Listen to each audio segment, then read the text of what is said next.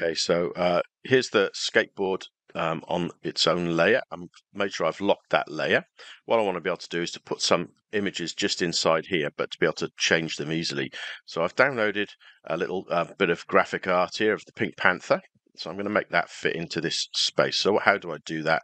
First thing I'm going to do is I'm going to use my quick selection tool and I'm going to put my marching ants around the inside of that skateboard deck shape.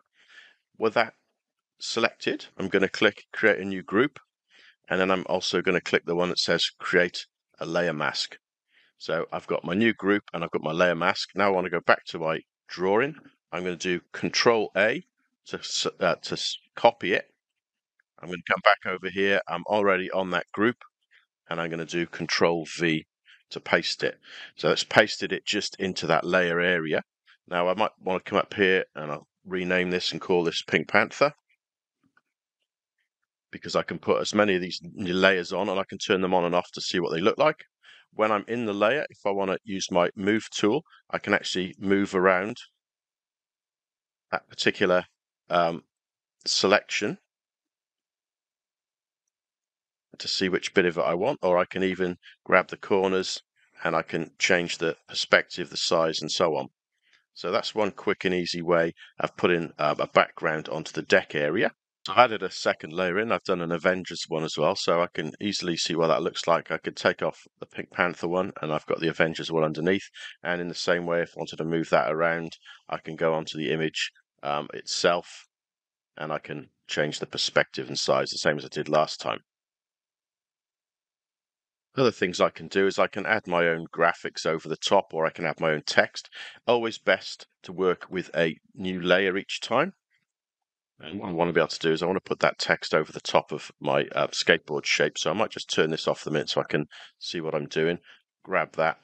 I'm going to position it kind of where I want and change the size and so on. See what that looks like. And then if I turn my other layer back on again now, I can see that I've got that word Avengers over the top now. Maybe I want to change the color or whatever. I can always go back in and do that afterwards. Okay, something else I might want to do is add a shape. So I'm going to basically create myself a new layer down the bottom here. I'm going to call that layer, this time I'm going to call it star. Um, I can do any shape I want, but when I've got that layer selected, I'm going to go down here where all my tools are uh, for my shapes. I'm going to go for a polygon tool.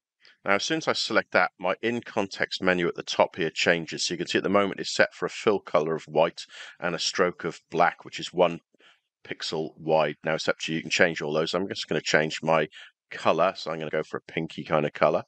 Um, and if I draw now, what will happen is I get a polygon as big as I make it. Now, this is a 10-sided one.